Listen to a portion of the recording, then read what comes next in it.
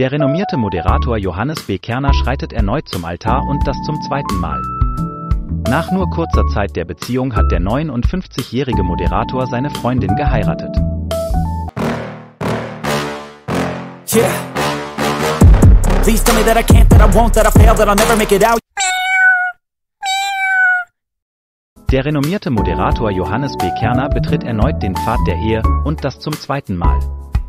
Berichten zufolge hat der 59-jährige Moderator seine Freundin geheiratet, nur wenige Monate nach Beginn ihrer Beziehung. Die neue Frau an Kerners Seite ist eine 32-jährige Kunsthistorikerin, wie die Bild-U-Zeitung berichtet. Die beiden lernten sich bei einer Veranstaltung kennen und sind seit Herbst 2023 ein Paar.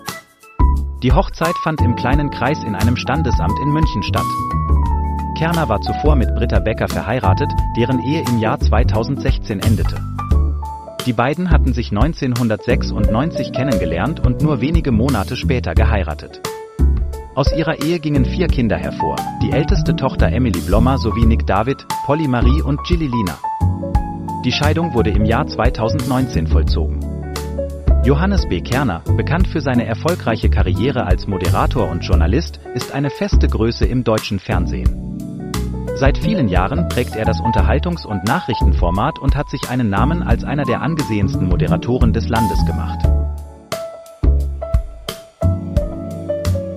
Und jetzt gib mir mein Futter.